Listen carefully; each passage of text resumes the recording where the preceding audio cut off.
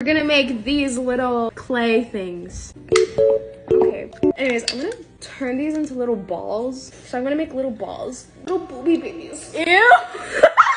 Ese culo bota caca. I'm gonna put this in the in the microwave and put it in.